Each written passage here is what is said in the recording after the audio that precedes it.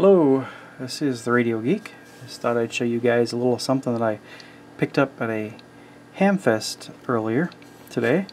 Um, this is a uh, known as a, a, decade box. It's a resistance decade box, and this particular one is good for uh, 10 watts maximum.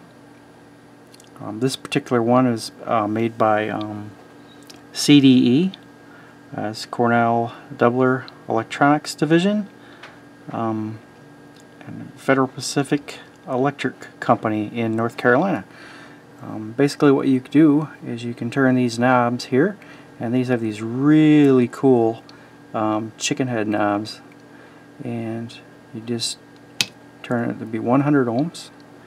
And um, I'm getting 100.1 so we're right up in there where we're supposed to be. It's supposed to be 3% uh, resistors in here so um, 203 that should be 300 and 400 500 ohms. 600 ohms. 700 ohms. 800 900 and 1000 ohms there And so what basically what it does is like once you get to 400, there's four resistors in there. There's a, a 100 ohm, a 200 ohm, a 300 ohm, and a 400 ohm. And there's a 1000 ohm, 2000 ohm, 3000, and 4000 ohm. So once you get past 400, you're on the 400 ohm resistor. And then when you go to 500, you would have the 400 ohm and the 100 ohm in series with the configuration they have here on the switch.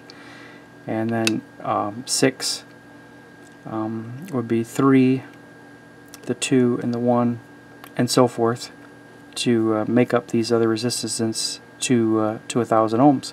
And it works the same way on the other side, but they're just 1,000 ohm, 2,000 ohm, 3,000, and 4,000 ohm resistors. So on this side, you've got your 1K position here, 2K, 3K, 4K, 5K, 6K,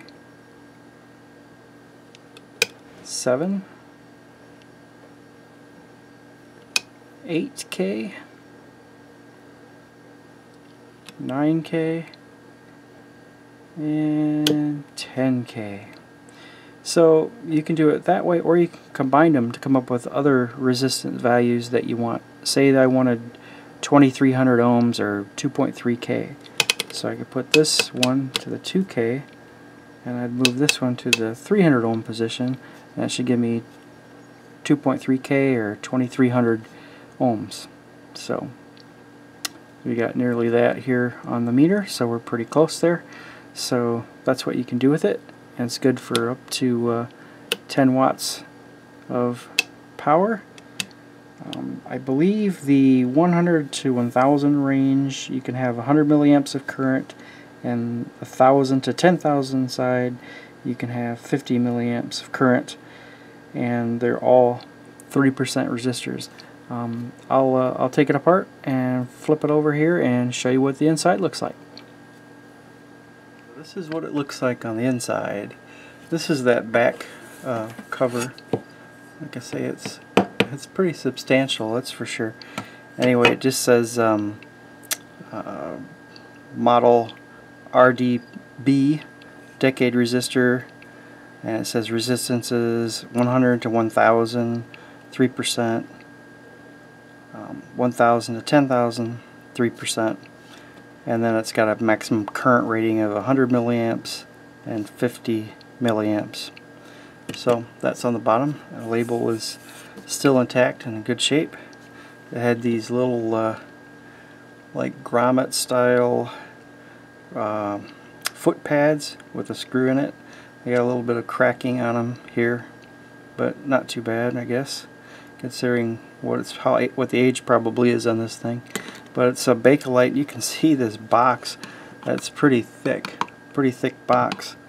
Um, just just way over engineered you know you could drop this thing off your desk and it'd probably survive I guess that was the idea but anyway you can see uh, some of these resistors inside um, this one is um, 1000 ohm um, 3% they're all 3% resistors there's the 2000 ohm one and then this one uh, let's see it must be the 3000 ohm resistor. The labels flipped the other way and this is a 4000 ohm one. And I don't know if you can see it or not but it's a uh, um, looks like a the brand is a Sprague and it's called a Koolohm K-O-O-L-O-H-M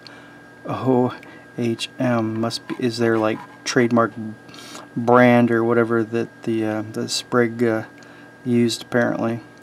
And then over here on the the other side you get the uh, the um, 400 300, 200, and 100 ohm resistor all 3% and they're all uh, 10 watt resistors. And then you have the uh, rotary switches down here.